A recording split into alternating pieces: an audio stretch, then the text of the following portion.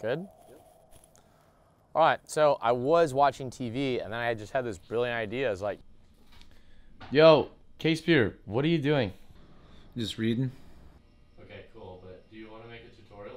Let's do it. Jeremy Casebeer is my roommate, like, and we haven't made it a tutorial in forever, so might as well make five tips to jump serving with Jeremy Casebeer. He was the best server in 2016, 2019. There might have been another year, but we don't really remember it. And so, what better person to teach me how to jump serve and all of you than Jeremy Casebeer? Let's do it. So in college, I sucked at jump serving, but my first summer when I was playing in Australia, I just decided I'm gonna jump serve every day. And these are the top five things that helped me that I wish I knew earlier in my career. So step number one is toss right, step right.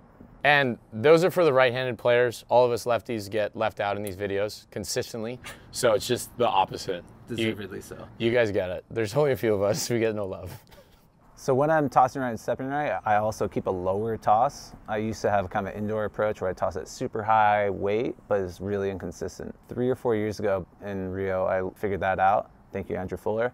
And it made a radical difference in my game. It was just way more consistent, easier to track. So when you toss right, step right, it's way easier and more consistent to get the ball in your sweet spot. That's not straight up and down or behind you. It's not to left or too far to the right. It's slightly in front of your shoulder. So from there, you're using your core, hips, shoulders, your whole body and momentum jumping into the court to hit the ball versus contacting it behind you and putting a lot of stress on your shoulder.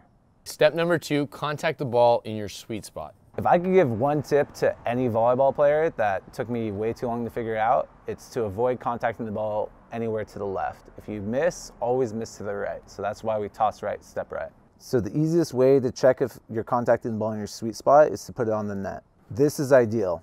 So that's contacting the ball in your sweet spot. That's where you can be an athlete and actually score points. Off to the right is plan B. That's where we still have range and options, but we're slightly limited. If we miss, that's where we want to miss. That's ideal again, right where you want to contact, where you're using your whole body to serve the ball and your momentum. Off to your left, that's the doo-doo ball. That's what you want to avoid. If there's one thing I wish I learned earlier in my career and one thing I could like help anyone with, it's avoiding contacting the ball to your left when you're serving or hitting. So another thing with finding that sweet spot is also having a tall posture. I think too many players from an indoor, they broad jump too much. You broad jump too much, you lose that height, you lose that contact, you hit it here. But you don't want to be too far in front because then you'll obviously hit in the net, but you also don't want to be back behind you. When you're back behind you, you lose all the momentum and power. If you're back behind you, you're also likely to hit it out. So it's somewhere right in between, just slightly in front. So like 11 o'clock, Yeah. depending on which way you're I looking at the clock. So it could be one o'clock too. aside so we can actually see the clock hand because what you're doing is, Okay. is impossible Okay, to see. ready? Go like this. Ready? All right, Riley's making me redo this because he's behind the camera. It's a good call. But like this. That's 11 o'clock. There we go. Just so you know. That's 11 o'clock, but it depends on which way you're looking from Right. the clock. Could also be Watcher, 130. The person who's watching the video, that's 11. I'm just telling you. Okay, but if anyone's watching from that way, it's one o'clock. Why don't you just say slightly in front? slightly in front of your shoulder. Uh, I think it's more like 10:45. So like, so like this.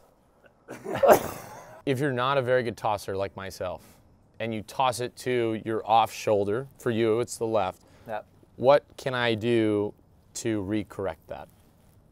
So if you have a bad toss, just like if you have a bad set, it's just more work to get a good attack. So if you toss left, all you need to do is step left, but as a right-hander, that's pretty goofy. It's uncomfortable. If I do toss my left, it's still possible to get a good serve in, it's just more work.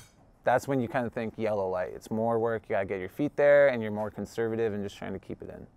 I'm really happy you said that because that actually leads us into our third tip, which is fast feet, especially like a quick and explosive step close. Another thing that took me way too long to figure out is just trying to be smooth when you're jump serving, not trying to meathead every ball and just take a huge rip. So if you toss the ball and you have a light and quick step close and a smooth arm swing, then you're gonna be way more successful. It's way more consistent. So the biggest difference in my serving game is when I was able to serve consistently. It's great if you can hit an ace and whatnot, but if you don't do it consistently, it doesn't really matter. You lose games missing serves. So a lower toss and light and quick feet with a smooth arm swing made all the difference for me. So it's just like any other sport. If you're golfing or trying to hit a home run, if you muscle up on it, your consistency is gonna be really low. If you're just taking a 70% swing with 100, 110% feet, you'll speed up your kinetic chain and everything moves together. That's how you put yourself in rhythm. Quick feet will speed up your arm, and if you're contacting out in front versus behind you, then you're gonna have a lot of power behind the ball. For the people at home, do you have a sort of mental cue or what what For has sure, helped sure. you to to have quick feet? So whenever I'm going back to serve, all I think about is light and quick. When I have really quick feet and a smooth arm, 70, 80%, as soon as you try and overpower it, that's where we make most of our errors. Tip number cuatro is location over power, something I don't do very well. Or speak Spanish very well.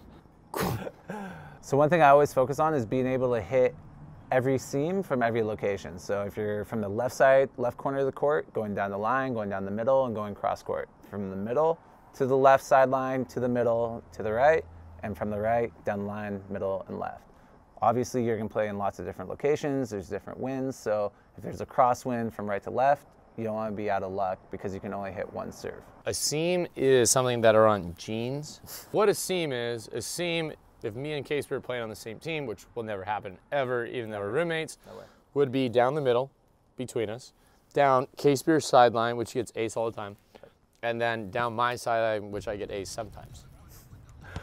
The most important thing is just serve to space. I can hit my hardest jump serve, but Maddison will pass it all day if I hit it right to him. So if you make him take a step or two left, right, forward, or back, then he's in trouble, hopefully. For the record, Maddison butchered the drone footage. That's true.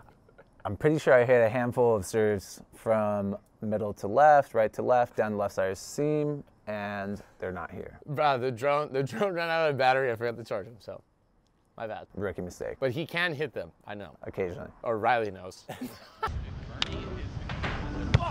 nice serve, Jeremy.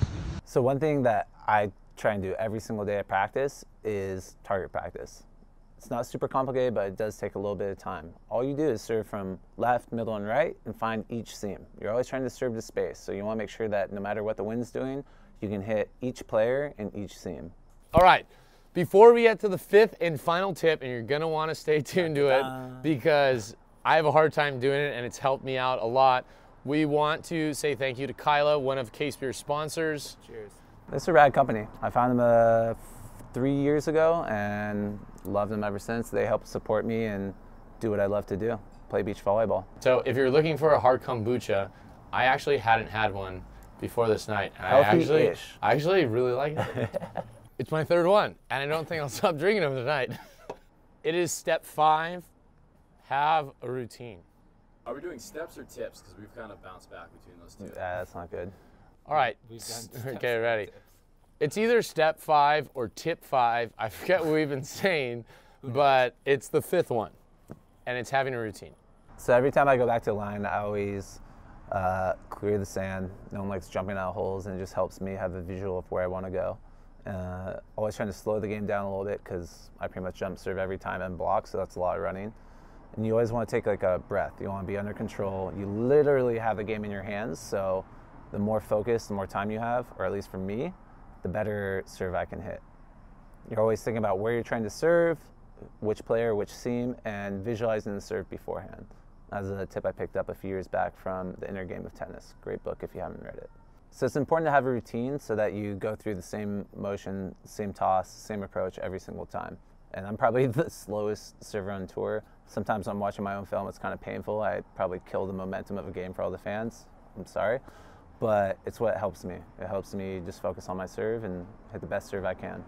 And I think sometimes, like, a lot of people put their routine only when they play in matches or in scrimmages. But, like, the one thing I've seen Casebeer do is, like, no matter what, not even for this video, he just, he always does his routine whenever he's practicing his serve, whenever in practice. And I think that's something that's very overlooked with players trying to get better at serving. So, no matter where it is, what time, like, figure out your routine. If it's breathing, if it's clearing the sand, if it's walking back, whatever that is, like do it every single time you serve, no matter what. And it can change too. It doesn't have to be the same thing. Like I've, it's taken me, I don't know, 10 years to figure mine out. So play with it and see what feels right. Okay, the last cut, I guess I mumbled a lot, so we're redoing it. But for all of you who stayed to watch the end of this video, to watch the five tips, tricks, or steps to jump serving the Casebeer shared with us, thank you for watching. and we'll see you next week. Cheers. Cheers. Let's go finish these.